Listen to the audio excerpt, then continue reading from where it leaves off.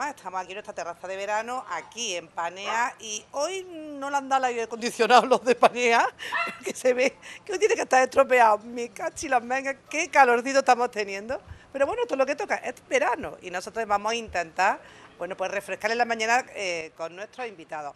Hoy tengo dos, yo no la esperaba, por eso estoy aquí sentado a las dos, están estupendamente, eh, Estrella y Cristina. Estrella y Cristina forman parte de un proyecto educativo, porque esto no es un colegio, es un proyecto educativo en todas reglas, eh, Algafequi, que lo, iba a decir más, Algafequi. Eh, un proyecto educativo, un colegio, que es un colegio público, que vamos a empezar diciendo que han dado un premio, un pedazo de premio, además a nivel nacional. Cuéntame, Estrella. Hola, buenos días. Pues efectivamente, nuestro colegio ha participado en el sello de vida saludable, que es una convocatoria anual a nivel de, bueno, de país. Eh, ayer salió publicado en el BOE y hemos podido concursar porque esa es la línea educativa que estamos llevando a cabo. Todo se inició en el 2020 aproximadamente, que decidimos escribir lo que estábamos haciendo. En definitiva, los colegios públicos normalmente no escriben sus señas de identidad. Y viendo que nos estábamos quedando sin alumnado, decidimos hacer, copiar algo que hacía la concertada, que es escribir las señas de identidad, porque teníamos una línea que nos identificaba, que es Algafequi Nature. Y paradójicamente, el AMPA y parte del profesorado de aquel entonces nos reunimos en agosto para inventar cómo conseguir eh, difundir y, visibilizar nuestro proyecto. Entonces nos presentamos un premio de innovación educativa y quedamos finalistas. Y eso nos hizo pues, pensar que, tenía validez, no solo por el feeling que tenían los niños y la familia con lo que estábamos haciendo, sino también por ese pequeño reconocimiento. Desde entonces hemos seguido en esa línea, se basa en cuatro pilares que ahora entre Cristina y yo os diremos. Y este año hemos decidido dar un paso más y presentarnos a nivel nacional. ¿Y cuál fue nuestra sorpresa? Que ayer pues, salió en el BOE. Nos han concedido esa distinción, el sello de vida saludable. Estáis recién premiada, o sea que estáis felices porque muchas veces hablábamos antes de que, de que empezáramos nosotros eh, la palabra esfuerzo qué importante es la palabra esfuerzo y la palabra recompensa, o sea... Y constancia. Y constancia, o sea, tenemos un sueño y nosotros vamos a seguirlo. A lo mejor hay veces que se tiene uno que parar, a lo mejor hay veces que se tiene que tomar otro camino, pero el sueño está allí y yo quiero conseguirlo. Y eso, Cristina, eh, los AMPAs, qué importante es también la labor de, hermandad con, con, lo que es los profesores, los maestros, para continuar con los proyectos que se generan, ¿no? Bueno, en este caso Mm, es que vamos de la mano. O sea, el Gafequi Nature nació ya de las familias y del profesorado y en esa línea estamos. O sea, para mí uno de los, mm, bueno, pues de, la, de, los argumentos en pro para elegir este colegio fue eso, que las familias teníamos voz y voto y que participamos prácticamente en todas las decisiones, no solamente en los organismos como el Consejo Escolar, que se da en todos los centros públicos y privados, sino de una forma mucho más cercana, mucho más abierta, cuando proponemos que en nuestro colegio las familias, sobre todo las que estamos llegando nuevas, que venimos de otros proyectos más alternativos, somos muy de proponer, mm, siempre tenemos la puerta abierta, siempre nos sentimos escuchados y de primeras hay un sí. Luego hay veces que no se puede realizar todo porque muchas de las cosas no dependen de ellos. Como todo centro público, tanto la delegación, la consejería, el ayuntamiento, tienen mucho peso, sobre todo económico. Entonces, bueno, pues mm, en la medida que depende del equipo directivo, hay un sí. Y casi siempre lo conseguimos. ¿Cómo son esas directrices, esos cuatro puntos? Son cuatro pilares son los que cuatro pilares. Eh, nosotros estábamos trabajando mucho en la educación emocional porque sabemos que niños que están educados emocionalmente tienen relaciones positivas. Y eso hay que enseñarlo, no se puede dar por hecho. Es verdad que hay familias que en casa lo trabajan, pero otras familias no tienen ese bagaje, no tienen esa herramienta. Y eso no viene en los libros, en lenguas matemáticas ni en naturales. Entonces decidimos hacerlo, desde la intuición de que era necesario. Hacemos diferentes actividades para ello y es uno de los pilares. Y luego hay una formación por parte del claustro. En su momento nos formamos y este curso ha salido en la memoria de los, de los ciclos que tenemos que seguir formándonos. Luego hay otro ámbito que es la, eh, la educación física. Consideramos que un niño tiene que moverse. Eh, son muchas las horas que están sentados. Entonces es antinatura un poco a veces eh, una clase, ¿no? ¿Cómo lo hacemos? Pues haciendo muchas actividades que puedan ser fuera del centro. Este año eh, eh, me siento muy satisfecha porque de los 105 alumnos que tenemos, 100 alumnos han ido en horario lectivo a nadar 10 días a la piscina Aira, entonces al Club Aira. Entonces, en horario lectivo, que maestros acompañados de familia pierdan, entre comillas, con el concepto que tenemos de la producción a nivel educativo, eh, clase para nadar, eso es impensable, pues eso lo hace una escuela pública si queremos hacerlo. También hacemos acampada, eh, salida en bicicleta, muchas cositas y intentamos que sean las máximas gratis.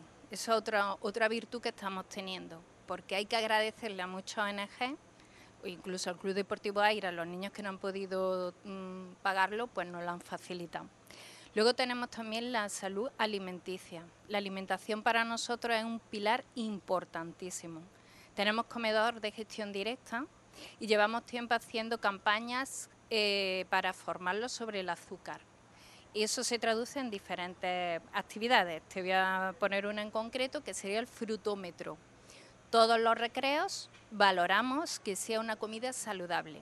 En su momento fue cambiar bocadillo y bollicao por fruta, pero ya han, llegado estas familias con sus eh, desplegables, que los niños traen eh, una alimentación digna de, de reconocer, como son anacardos sin freír, eh, arándanos, eh, galletas integrales, etcétera. El azúcar no está en nuestro colegio ya para nada, ni siquiera en los cumpleaños. Los bizcochos solicitamos que sean caseros y casi sin azúcar. Entonces los niños tienen mucha conciencia. Aprovechamos la campaña de la leche con los limones del colegio y en el recreo a veces hacen leche preparada. Es increíble. Y luego está el medio ambiente, que por cierto comparto contigo que la clase de quinto se ha ocurrido un proyecto muy chulo, que, era el punto de Sadeco, con unos contenedores, y también han ganado un premio. Y también comparto contigo que la infraestructura de estos cuatro puntos, de estos cuatro pilares, es a base de comisiones, que ahora que la explique Cristina. Pero hemos ganado eh, otro premio este año que es a patios escolares. Y fíjate qué simple, es un patio de luz muy triste que teníamos, muy estropeado, y gracias al apoyo de la familia y de todo el claustro, porque todo el claustro ha hecho manualidades con los niños para ellos, los de infantil pintando macetas, etcétera, hemos eh, reconvertido, reutilizado un patio que era para nada en un patio cordobés, con azul añil y las macetas. Y entonces, como todos hemos colaborado, pues yo creo que nos han dado el premio por eso, porque ha trabajado hasta el portero, ¿sabes? Entonces esa es nuestra dinámica, sacar de donde no hay, porque habiendo ideas, hay proyectos y hay vida. Bueno, a mí me estás dejando ahora mismo de verdad totalmente pues nada, Conocí algo, pero yo me autoinvito ya en el curso que viene. Te lo digo en serio. Nosotros estamos haciendo campaña de captación, ¿sabes? Si quieres, Cristina, que explique las comisiones que tenemos, las comisiones Te digo una cosa muy, muy en serio. Eh, me autoinvito eh, para ir y ver en directo lo que estáis haciendo. Todo eso que me estás contando, si tenemos oportunidad en el curso que viene, eh, PTV, yo, vamos, para mí sería un momento estupendo comprobar de verdad todo lo que nos estáis contando. ¿Cuánto ha evolucionado esto de las familias y los colegios? Es que yo recuerdo, claro, yo ya tengo hijos ya muy mayores que ya han pasado esa fase y aunque han estado en colegios estupendos y, y ha sido también una historia así, pero la diferencia es brutal y quien sale ganando es la comunidad educativa por un lado, porque tiene ese apoyo, tiene ese refuerzo, indiscutiblemente los niños. Muy claro. De hecho, somos el único colegio de la provincia que estamos ganando unidades en vez de perderlas. Hemos crecido desde que se hizo el proyecto Algafequinature en un 34% el colegio y se han recuperado dos unidades que se habían perdido en los años anteriores. Entonces, pues eso, lo que mm, a través de esfuerzo, de constancia, de hermanamiento y de unidad y del concepto de que la comunidad educativa somos todos, con el fin de que nuestros hijos y nuestras hijas sean felices, que creo que es lo primero y lo más importante por lo que tenemos que luchar, que van a aprender de otra forma, que van a... Mm, los amigos de mi hijo son los niños de su clase y las niñas de su clase. Entonces, y de ahí, pues mm, las familias tenemos un grupo de WhatsApp de quedadas, veraneamos juntos y les invitamos a ellos. Es un, no hay una un concepto diferente. Cuando hay un tiempo a lo mejor de vacacional, ¿no? Porque no hace falta, no, no, hay esa necesidad de que yo no quiero verte un tiempo, no. Es justo exacto, al contrario. Exacto. el colegio es su casa porque pasan muchas horas en él. Entonces nosotros lo que nos estamos encargando es de hacer que el colegio sea un sitio divertido, saludable, sostenible. Tenemos huertos, tenemos gallinas, tenemos árboles frutales, tenemos una higuera que los niños pueden escalar, tenemos rocódromo, tenemos mm, un circuito de psicomotricidad, arenero, con vehículos que están disponibles a todos. Lógica, que yo creo que es lo que falta en, en la mayor parte de la vida, lógica a lo que es el crecimiento natural, o sea, estáis incluyendo lo que de siempre ha funcionado que se ha despreciado, no sabemos muy bien por qué, que parece que la modernidad está reñida con lo que es saludable, sostenible y todo eso, porque eso es lo que se ha dado siempre en la escuela. O sea, la escuela se ha basado en el juego, el aprendizaje a través del juego y en esto de la alimentación sana, es que mm, yo recuerdo que me daban una manzana, a mí no me claro, otra cosa, claro. al recreo. Y era, el recreo era saltos para arriba, saltos para abajo, Exacto. con árboles, claro, es que la cosa ha cambiado mucho. Mira, eh, nosotros vamos evolucionando en función de las necesidades. Entonces somos un grupo abierto, todo el que quiera participar de familia. Un ejemplo, en la fiesta de fin de curso, que fue el 24 de junio, un viernes por la tarde, o sea, que facilitamos mucho los encuentros cuando las familias pueden, eh, futuras familias ya estaban invitadas. Eso es cuidarnos. Es que la educación emocional tiene que existir entre nosotros. Es una bienvenida. Mira, esto somos y, esto es lo que hacemos nosotros. Y, y, hubo una batucada de padres que están apuntados en un grupo de batucada de los que ya están junto con los que vienen y ofrecieron su arte, lo que saben hacer para nosotros y nuestro ahí ya alumnado. ahí ya me has ganado. Porque yo ando detrás de una batucada de yo apuntarme, así que ya me has ganado. Ahora sí que sí. Te voy a decir no. Pero es que tenemos otra mamá que nos regala danza africana. Entonces, con su grupo, en la graduación de sexto, nos facilitó eso.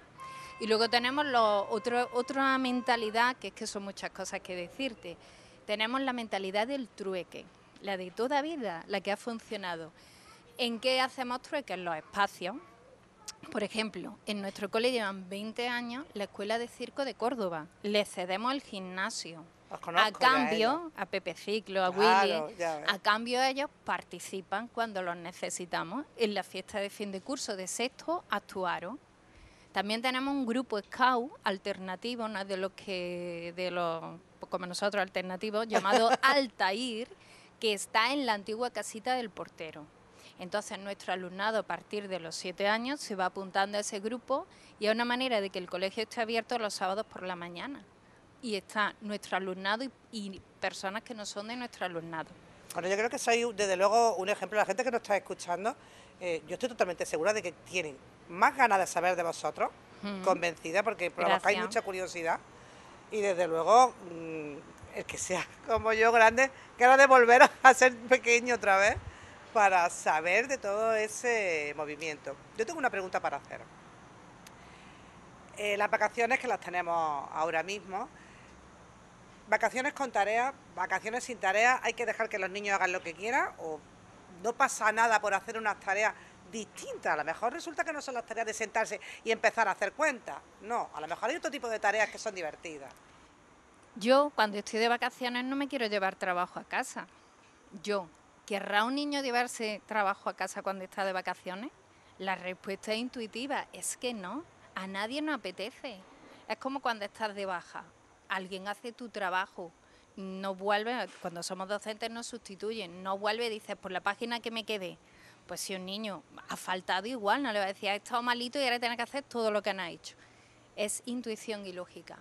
Las tareas en principio tienen que ser una cosa reconfortante, no un trabajo extra, punto uno. Y punto dos, en verano el concepto tareas escolares yo lo quitaría. Yo pondría encuentros familiares, porque las tareas se supone que es para aprender y puedes aprender sin un material delante. Puedes aprender en la relación, en las vivencias.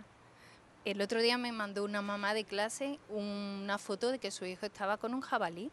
Eh, estaban allí eh, en una granja. Entonces, esas son para mí las tareas escolares. Los niños necesitan vínculos y estar con su familia porque es lo que no tienen. Entonces, en verano, eh, que hagan lo que necesiten, lo que la familia deseen y el aprendizaje surgirá por las propuestas de la familia.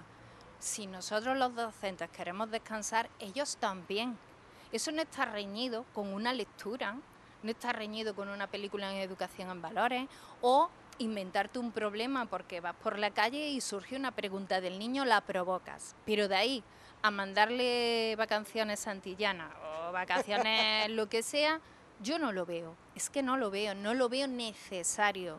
Tienen que entender su ritmo cuando hay cole y cuando hay vacaciones. Si no le estamos vendiendo un producto anual y eso no, no funciona. Hay que, eso por un lado para el verano. Y luego de a diario hay que definir qué son tareas porque hay niños que a lo mejor necesitan repasar y otros que no.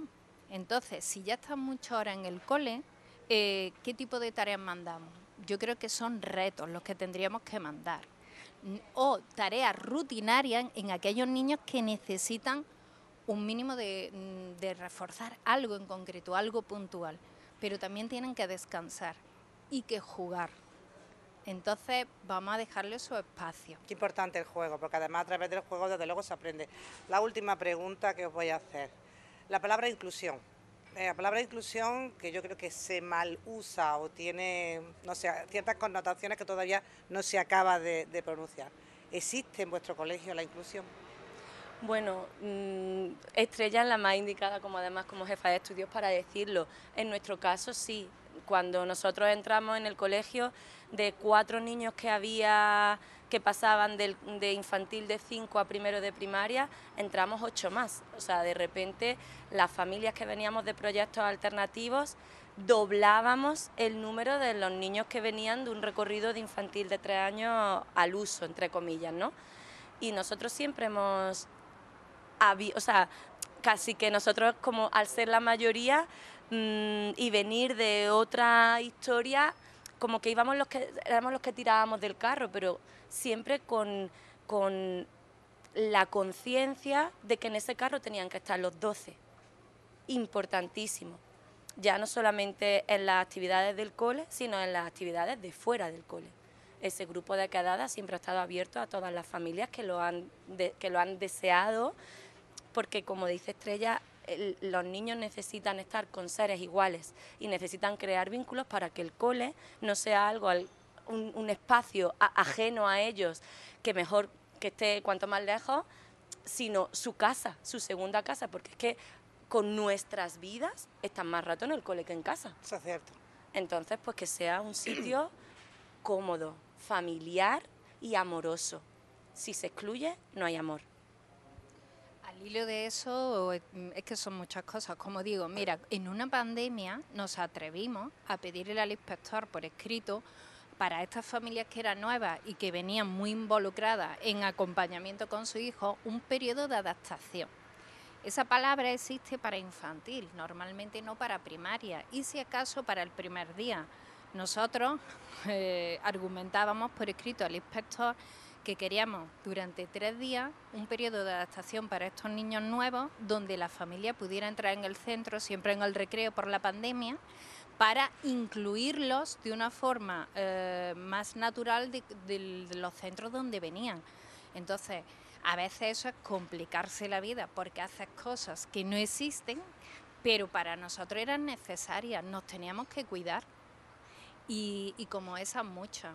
Como referencia también, ahora en mayo nos han llegado alumnado afgano que vienen de una realidad muy dura y están pues quedándose por aquí.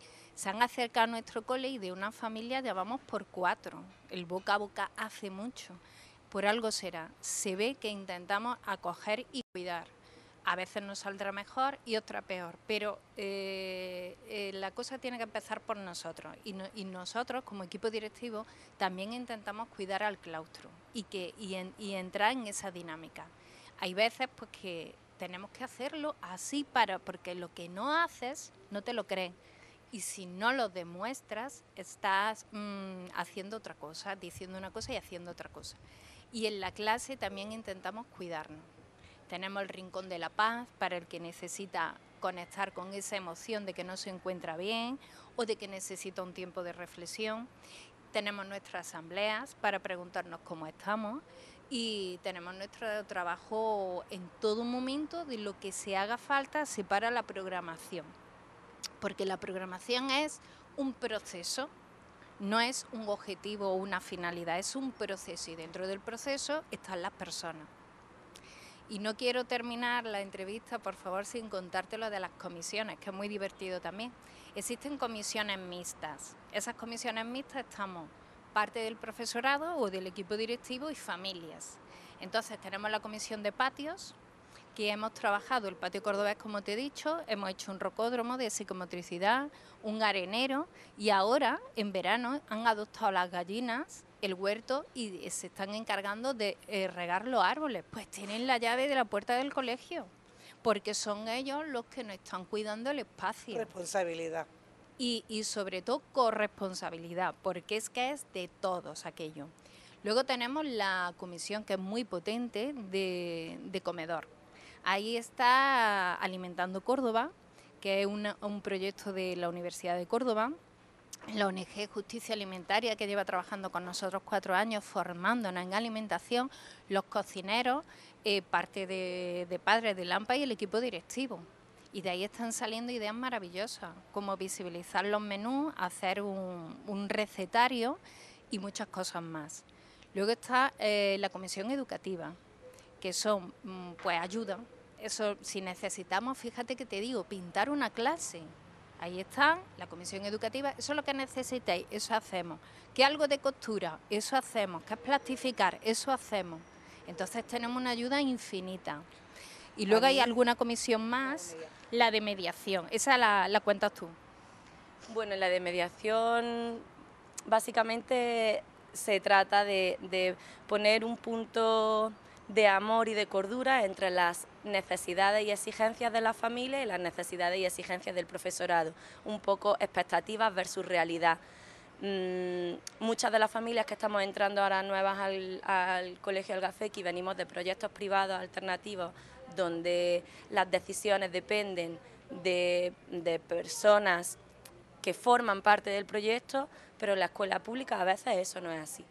Entonces, bueno, pues hay que tener una mirada de respeto, de comprensión y de inclusión en la que consigamos que el objetivo común, que es la felicidad de nuestros hijos y de nuestras hijas, se consiga en armonía. Y básicamente esta comisión lo que intenta es poner armonía siempre que sea posible con pues eso de otra forma más amable. A mí desde luego me estáis dejando totalmente impresionada. Yo vuelvo a repetir mi autoinvitación para cuando empiece el curso. Y si hay algo que, nos, que creo que nos queda claro a todo el mundo y es esa convivencia en la que se deberían de reflejar absolutamente todos los que mandan, o sea, desde una comunidad de vecinos, tu propia casa, un gobierno, un parlamento. Yo creo que todo se basa en esas reglas que vosotros estáis poniendo en vuestro colegio, en vuestro pequeño colegio y que está haciendo que los demás, casi que el que esté escuchando ahora mismo esta conversación, se sienta un poco avergonzado de ver, ¿y yo por qué no estoy haciendo lo mismo? ¿Por qué no estoy dialogando? ¿Por qué no tengo inclusión? ¿Por qué no hablo? ¿Por qué no propongo? ¿Por qué no tengo...? Vamos a preguntarnos, hay muchas cosas, me parece a mí, después de haber estado escuchando a estas dos mujeres excepcionales que vienen a decirnos que sí se puede, sin duda. Los proyectos se consiguen con mucho trabajo, con mucho esfuerzo, con mucha gente apoyándolos y con, bueno, con ese trabajo maravilloso que estáis haciendo. Mil gracias por haber venido, por habernos contado, por habernos puesto las pilas. Muchas gracias, de verdad. Gracias a ti por invitarnos. Y buen verano, ¿eh? Gracias, Ana. Eh, te, te, encantaría conocer a los niños para que vieran lo felices que están en nuestro cole y cómo se organizan entre ellos y destacar la capacidad que tienen de participación ciudadana desde pequeñitos, porque sus propuestas, como para la fiesta de fin de curso que una alumna propuso utilizar los limones para hacer limonada y venderla y negociaron entre ellos qué precio tenía eh, la limonada y propusimos con frutos secos, en fin, son siete añitos y hacen propuestas y los padres los apoyan detrás del puesto, ayudándoles con el cuchillo para que salgan a cabo. Entonces es decirte que los niños están viviendo en primera persona todo lo que estamos contando. Dan por hecho que en los coles hay leche preparada en los recreos, porque en su único cole normalizado es el nuestro y como la hay, es que la tiene que haber.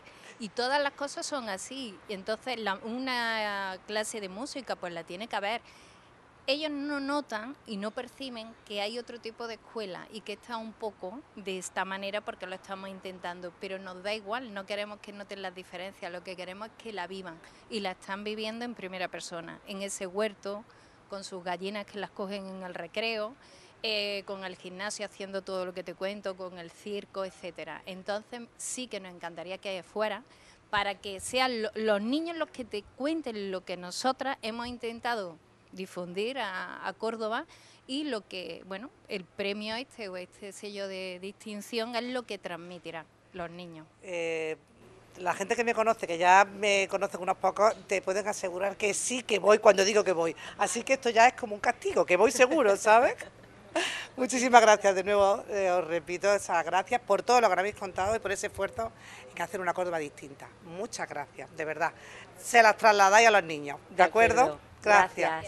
Bueno, pues ya lo están viendo, cosas maravillosas que pasan en nuestra ciudad también en verano. Y nosotros ahora nos vamos de música. Saben que estuvimos también en el Festival de la Guitarra, que se me había ido la cabeza. En el Festival de la Guitarra y estuvimos escuchando conciertos maravillosos, como este que van a ver.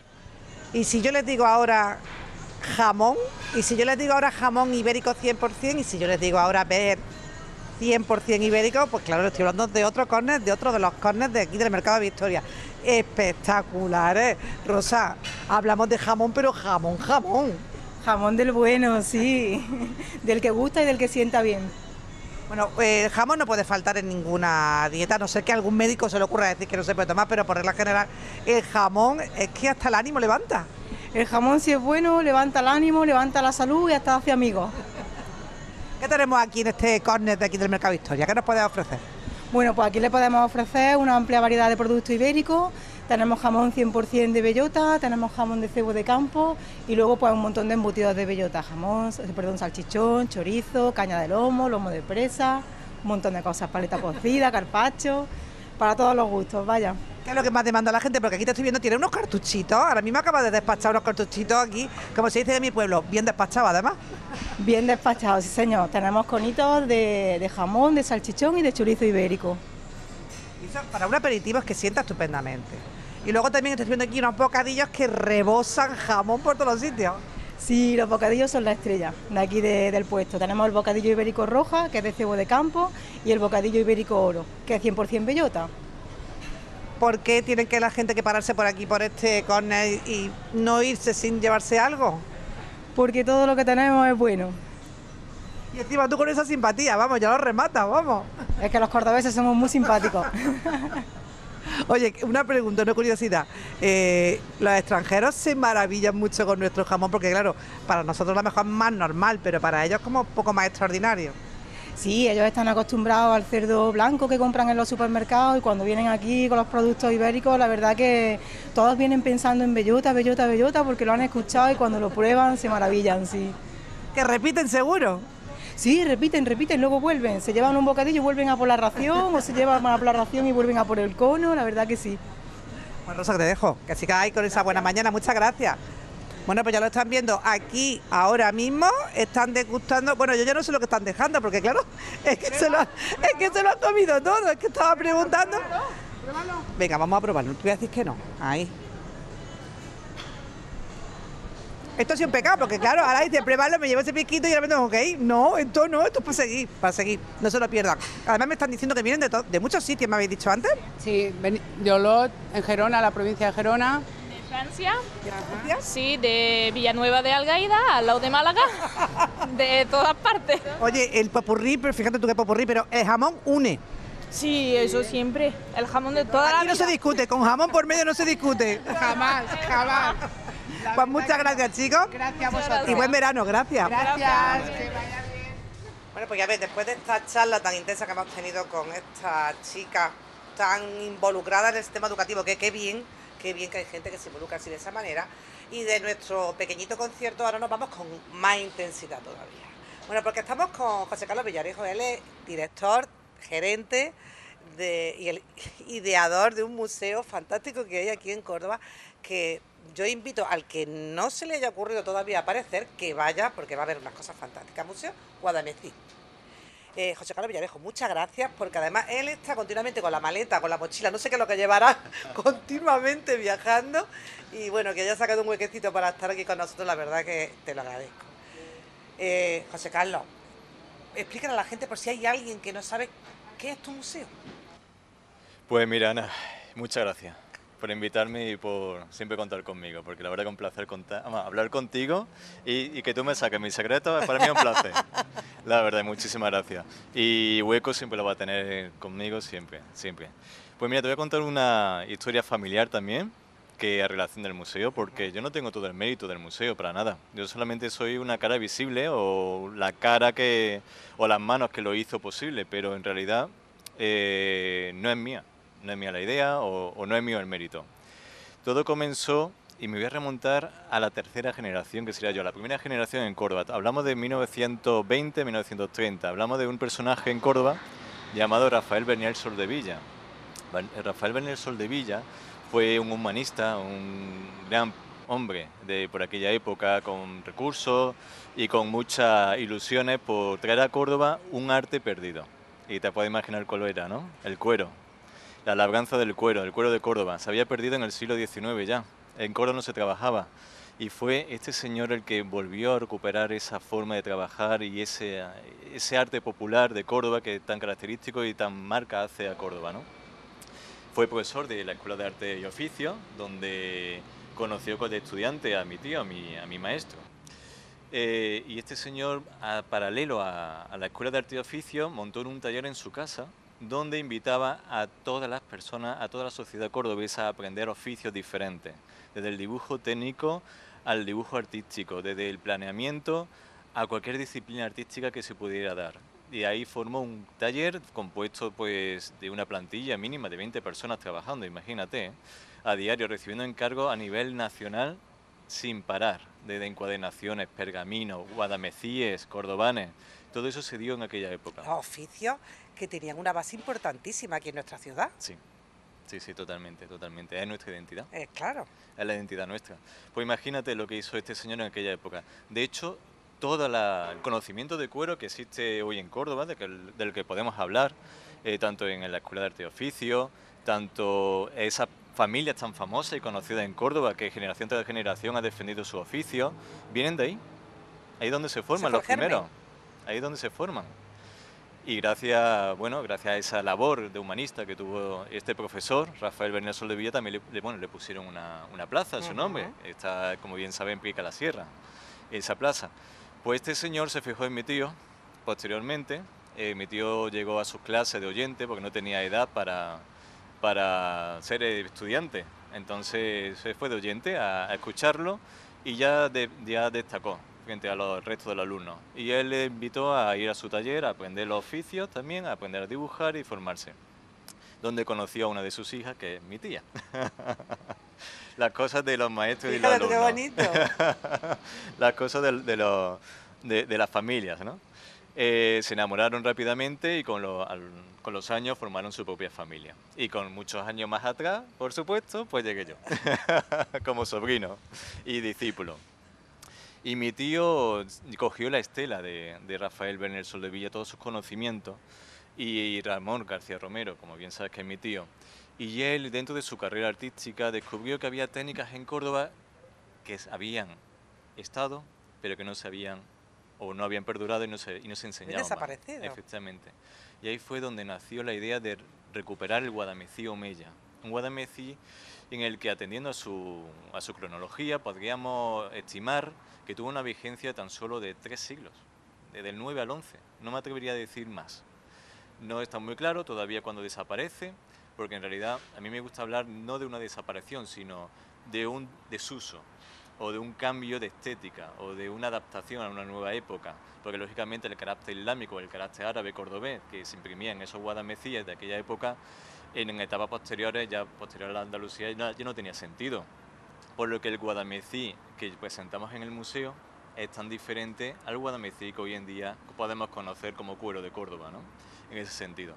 Pues surge realmente esta, este guadamecí, esa historia del museo, en ese estudiante de Ramón García Romero que tuvo un primer maestro que recupera el cuero en Córdoba. O sea que imagínate el linaje que, del que yo defiendo, ¿no? La historia que tiene eh, peso en este sentido por varios, por varios sitios, tanto familiar como histórica de nuestra ciudad, porque ahí se resume en este museo vuestro, ahí es donde se resume todo. tu propia historia, pero la historia de Córdoba también. Sí, sí. Y, la imagen de Córdoba. Claro. Estamos exportando una, una imagen de Córdoba que a lo mejor se sale un poco de los cánones de lo que la gente puede venir a buscar eh, pero también hay una cosa importante, yo creo que están muy bien los museos para que los vea la gente de fuera, pero ¿por qué no los vemos nosotros primero? ¿Por qué no somos capaces de disfrutar para saber nuestra propia historia? Eso forma parte, como bien estás contando, de todo esto. Señores, vayamos al museo, vamos a verlo, porque además van a disfrutar muchísimo, vamos. Muchas gracias, Ana. Estáis invitados, por supuesto. Ya gracias a Dios, pues puedo decir que hemos cumplido 16 años ya de apertura. Y si no, estamos los 15 todavía, pero vamos, pronto, pronto hacemos los 16. La historia del museo ha sido dura eh, hasta que hemos llegado al momento en el que estamos. Eh, porque imagínate, hablar del 2006, que fue cuando yo abrí puertas junto con mi tío, por aquel entonces aún vivo, y disfrutando de su, de su, de su obra expuesta, ¿no? Eh, de su sueño cumplido, lógicamente. Hablar de un guadamecí de carácter árabe, de carácter islámico, que existió en Medina Zahara, que existió en Córdoba, antes del propio Córdoba, tal y como hoy en día lo conocemos, eso fue romper muchas mentes. Muy chocante, claro. Muchas mentes en Córdoba, romper mucha, incluso algún tipo de doctrinas en la propia universidad. De eh, prejuicio. Efectivamente. Tuve que luchar con todo eso. Oye, gracias a Dios, pues hemos triunfado. Hemos visto como antes estábamos hablando de sueños, los sueños hay que perseguirlos, sin duda. Hay que hacerlo, un trabajo duro por detrás, por supuesto, sacrificio al máximo, pero hay que darlo todo, siempre, siempre.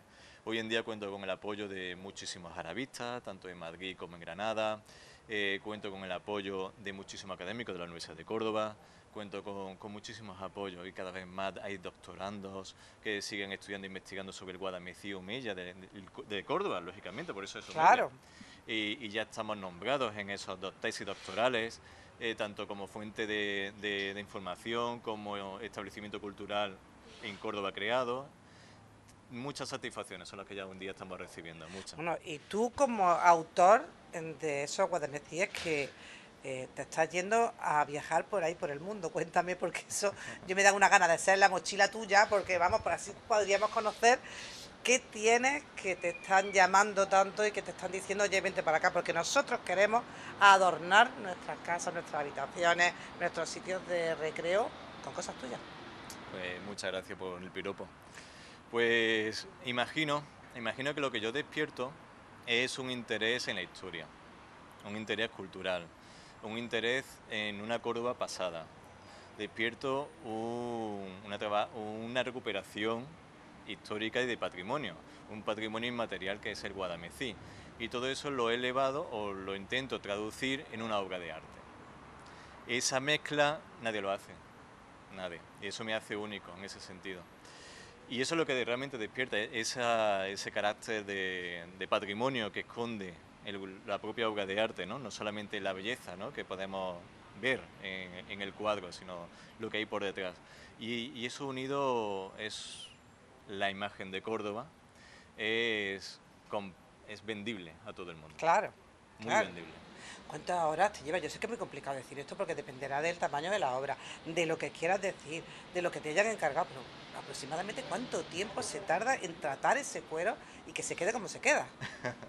Muchas horas. Muchas horas. Muchas horas. ¿Cuánta- y y además es muy, muy puntilloso, es muy minucioso ese trabajo. Sí. Hay mucho mimo ahí en lo que se hace. Muchísimo. Yo siempre digo que quien continúe mi estela, que aún hay un futuro por, por descubrir, a ver cómo va a evolucionar el museo y cómo, va, cómo voy a transmitir este esta sabiduría, tiene que amar el oficio.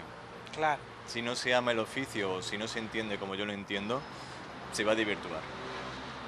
Por lo que prefiero que caiga en manos académicas y teóricas puramente a, a mal enseñarlo o a, que se reciba de mala manera, en ese sentido. Pero bueno, eso es otra historia. Eh, como bien sabe, una de nuestras inquietudes o de nuestro objetivo, tanto de mi tío como mía, fue reproducir fielmente el trabajo de ese guadamecí que se realizaba en el siglo X. El original. Efectivamente, el original. ¿Y cómo se hace? Pues muy fácil, se sabe, no hay ningún secreto. La piel es la base de todo. La piel históricamente se utilizaba la de carnero. Hoy en día la- lo más habitual es, es usar la oveja, la badana. En ese sentido, una abeja curada naturalmente, sin de forma artificiosa, totalmente natural, sin planchas, eh, eh, con color natural, etcétera lo más, lo más natural posible, que se, que, se, que se huela la oveja todavía. Es cierto que posteriormente hay, una, hay un baño de, ácidos en el que preparamos esa oveja o esa piel ya, esa hoja ya tratada, curtida, para lo que es recibir la, la técnica del guadamecid de, de estilo humilla, ¿no? o de, de época humilla. Y como es una técnica y un arte suntuario, lógicamente, pues ¿qué tiene que llevar? Materiales lujosos, pero de la mejor calidad. Oro y plata, cubri- cubriendo totalmente la superficie de la piel. No se puede ver nada de piel, porque si no, entonces estamos desvirtuando ese carácter de lujo y de exclusividad, que era lo más gustoso para el califa de aquella época. Entonces, por eso nunca en nuestras obras o en mis obras actualmente no puedes ver la superficie de la piel. Siempre estará cubierta de oro o de plata.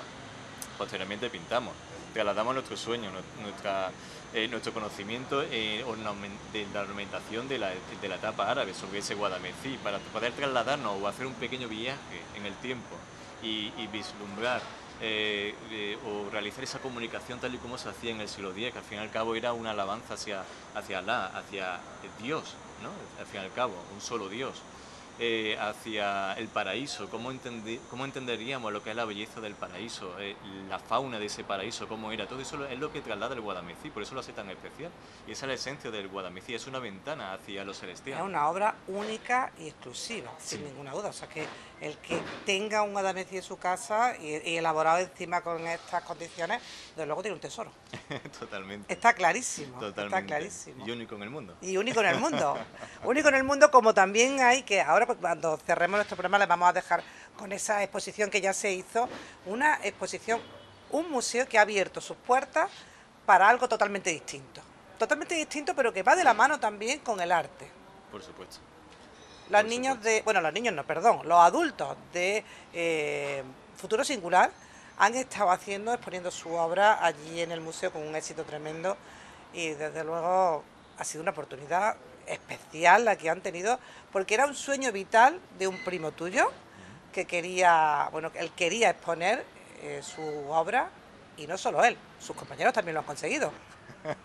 Sí, así es. Es que yo no concebía el que Pablo, Pablo García, que es mi primo, eh, lo hiciera solo, teniendo a compañeros tan maravillosos como son los que Claro. acompañaron esa exposición. Entonces era, de, era obligado eh, a realizar la invitación a Futuro Singular. Pero como bien sabes, todo es familiar, al fin y al cabo. Y todo tiene un, un motivo y un porqué y un origen. ¿Y cuál es el origen? ¿Qué me conecta a mí con Futuro Singular? Pues muy sencillo. Al igual que Rafael Soldevilla fue para mi tío, fue para Ramón García Romero, un padre más. Mi tío eh, fue mi maestro y un padre Es más. para ti algo muy especial. Efectivamente. ¿Eso qué significa? Que sus hijos son hermanos. Más que primo. Más que primos. Claro. Cuando falleció mi tío, pues me dio muchos legados y uno de ellos fueron sus hijos.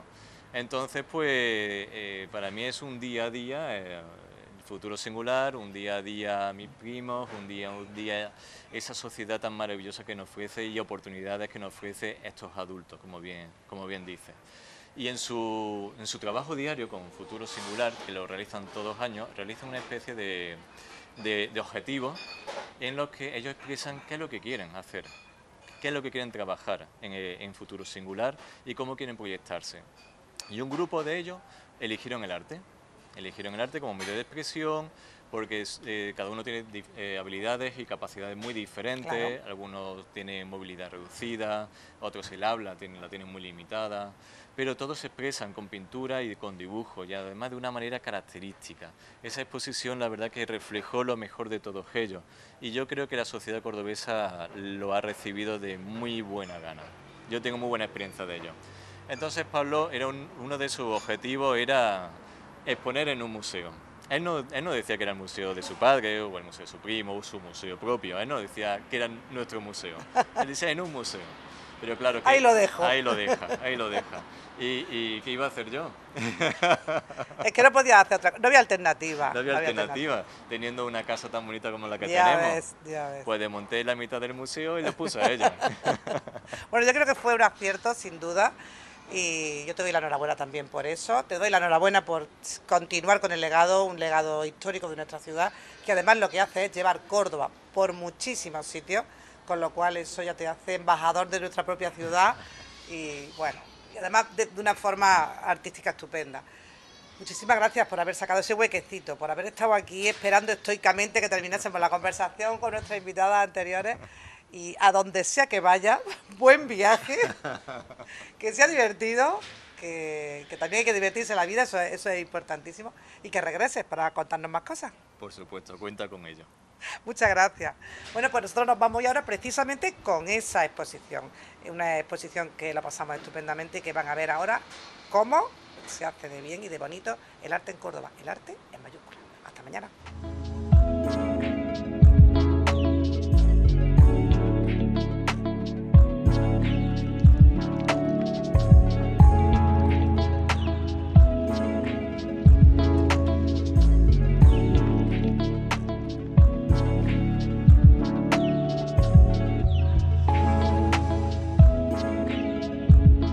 Estamos en el Museo Guadalmedí, aquí en nuestra ciudad, y estamos también con José Carlos Villarejo, él es el director del museo.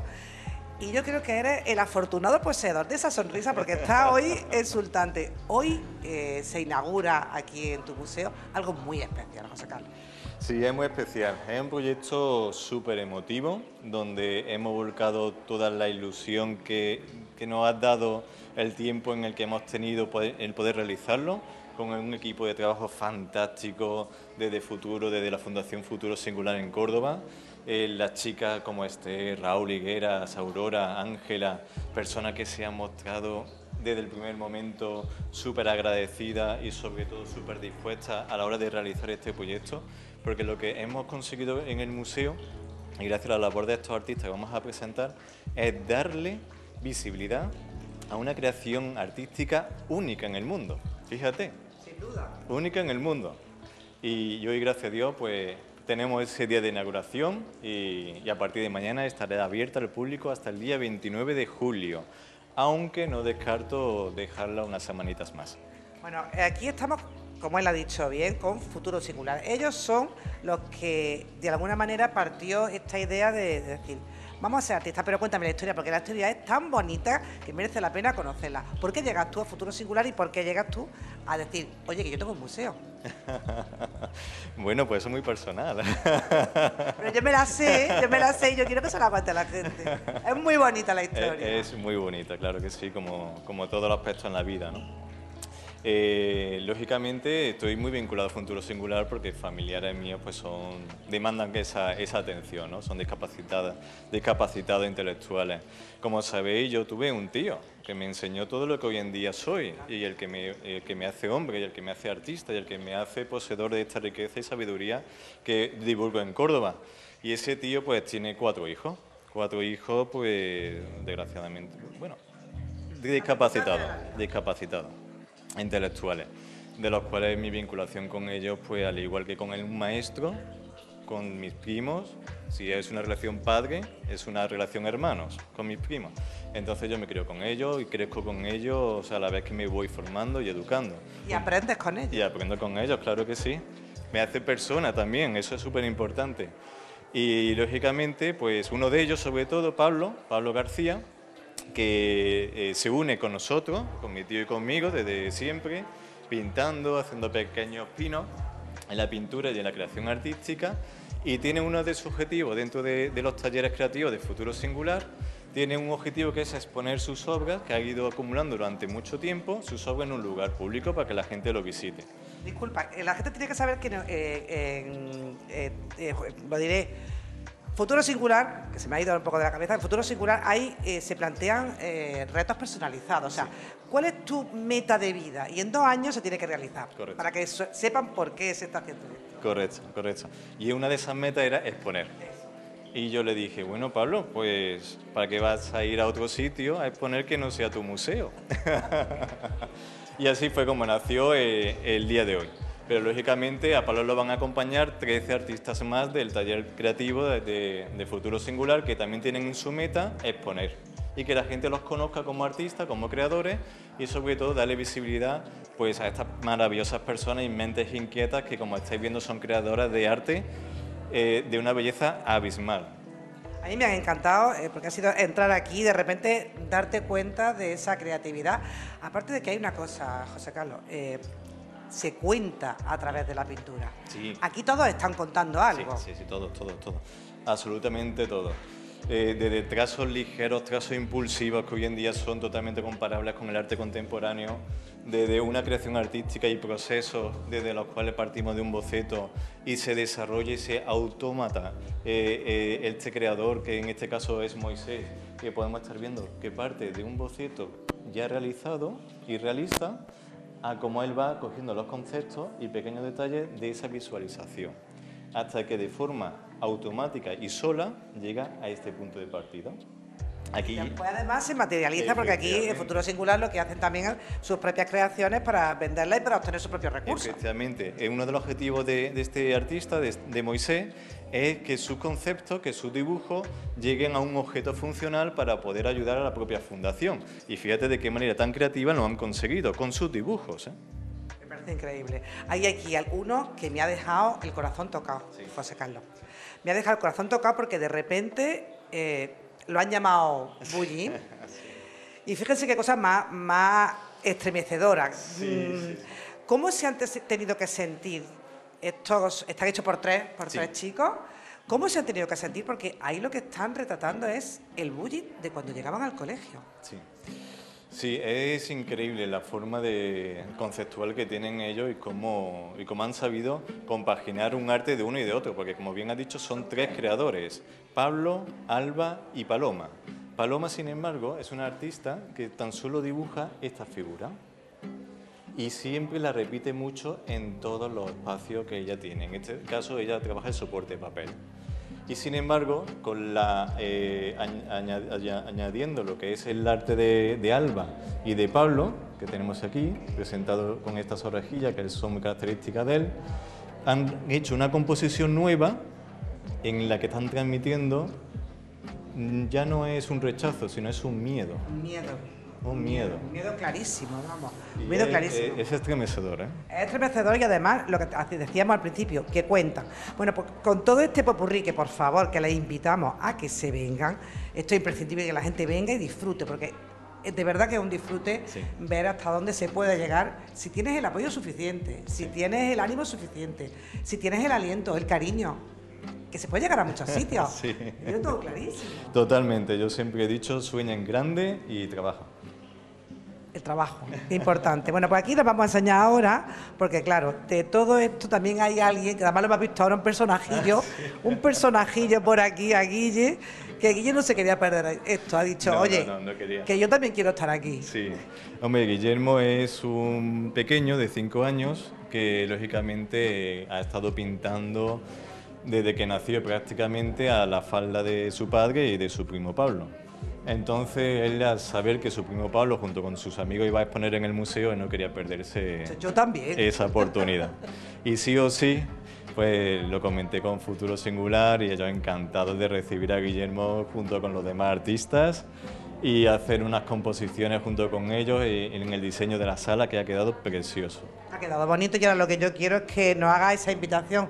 José Carlos, dile a la gente que es un pecado mortal si no se pasan por aquí. Hay que venir sí o sí. Hay que venir, hay que venir a disfrutar de, esta casa museo, que como bien saben es una casa única en el mundo porque el tema que tratamos en ella es única en el mundo. La recuperación de técnicas originales del guadamecí, el cuero ornamental de los omeyas y lógicamente con la combinación y el diseño de, estos, de estos creadores, que también son únicos en el mundo, la mezcla es única en el mundo. Ya está, nada más que decir, que se vengan por aquí y que disfruten, que se la pasen muy bien.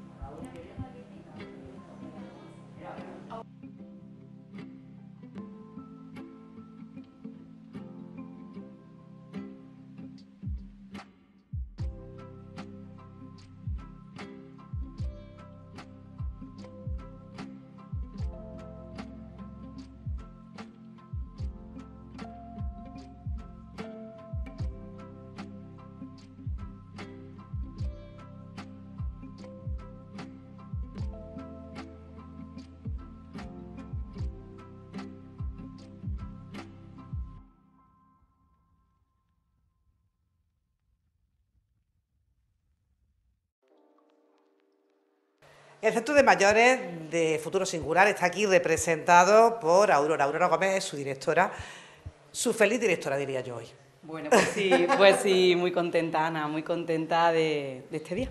Bueno, hoy estamos de inauguración, hemos estado hablando con José Carlos Villarejo, con el director del museo, y desde luego es un museo precioso. Hemos dado un paseo que estamos invitando a la gente que se pase por aquí porque sí o sí hay que venir a este museo, no hay más. Sí, es un sitio muy bonito, en plena judería y bueno, José Carlos nos abre las puertas de su casa y, hay que aprovechar este sitio y este espacio que es único. ¿Cómo se llega hasta aquí? Él nos ha contado un poquito la historia, pero ¿cómo llega Futuro Singular a decidir que esto hay que hacerlo, que hay que exponerlo que hay que enseñar además todas estas obras?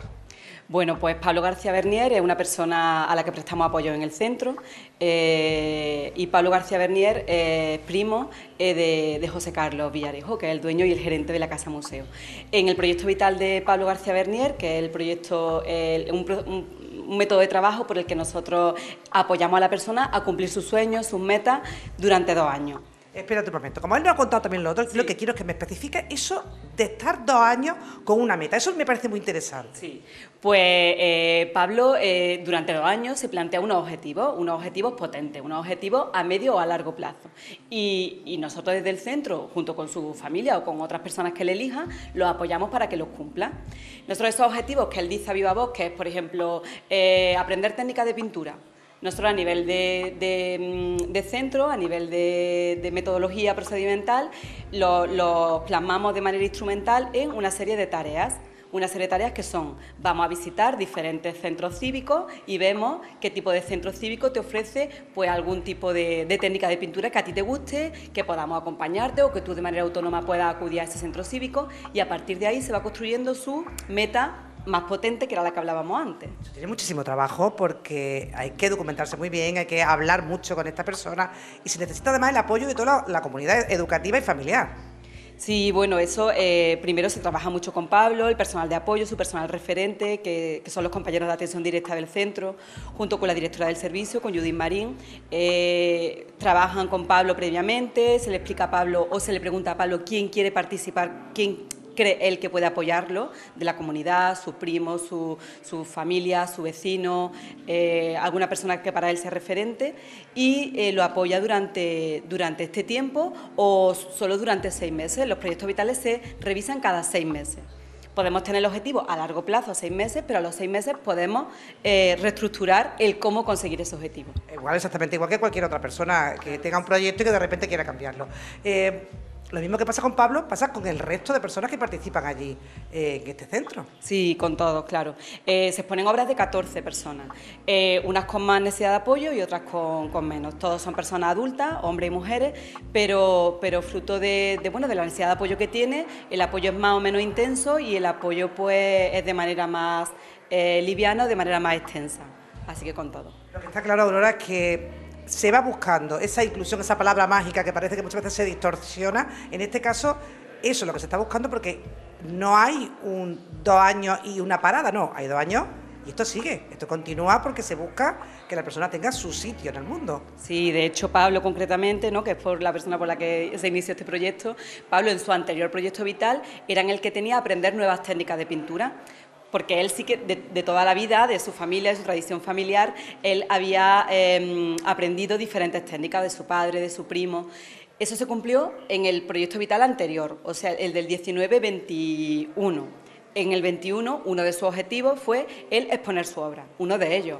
Otro fue, pues, no sé ahora mismo, no me acuerdo, pero otro, en fin, ese, se, van, eh, van creciendo los objetivos cada vez pero más. Lo que sí está claro que lo que va creciendo es la familia de futuros singulares y lo que están haciendo es algo maravilloso, esa inclusión de verdad efectiva esa manera de que tengan las personas de desarrollar lo que necesiten, lo que quieran y los sueños. Qué importantes son los sueños, Aurora. Sí, para todos, ¿verdad?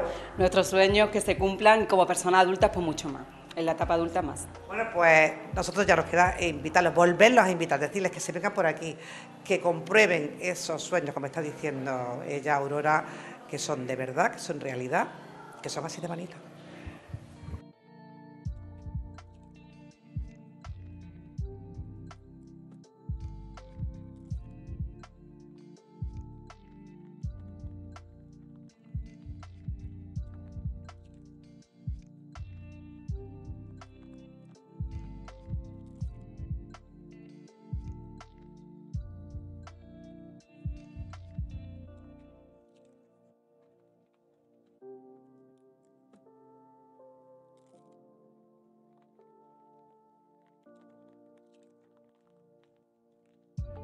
Bueno, pues estamos aquí con uno de los autores de estos cuadros. Eh, hoy estamos inaugurando. ¿Cómo estás? ¿Estás feliz? Yo estoy feliz. ¿Estás contento? Yo estoy contento. ¿Viene mucha gente a ver esta exposición ahora? Mucha gente. ¿Cuánto has trabajado para conseguir estos cuadros? Mucho, mucho tiempo. Mucho tiempo de atrás. ¿Muchas horas le has echado? Muchas horas. Tú has tenido una profesora que está contigo de apoyo. Judy, la tenemos aquí detrás, ¿verdad? Sí, detrás. Es importante tener a alguien que te ayude. Sí, importante. Este era un proyecto vital tuyo. Lo que tú querías, exponer. Exponer nomás. ¿Ya lo has conseguido? Ah, seguido. ¿El siguiente proyecto cuál va a ser? El proyecto un día veremos. Ya veremos, a ver. claro. Tú quieres que la gente venga a verlo. La gente a verlo nomás. Bueno, pues ya saben, invítalo a que venga. Dile a la gente que venga.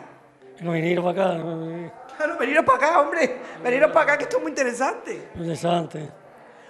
Los compañeros han hecho una cosa muy bonita también. Sí, también. Entre, todos. Entre todos. Entre todos. Se trabaja mejor cuando hay más gente, ¿verdad? Más gente. Pues enhorabuena, te doy la enhorabuena, de verdad, de corazón. Ha sido muy bonito lo que habéis hecho. Vale. Muchas gracias. De nada.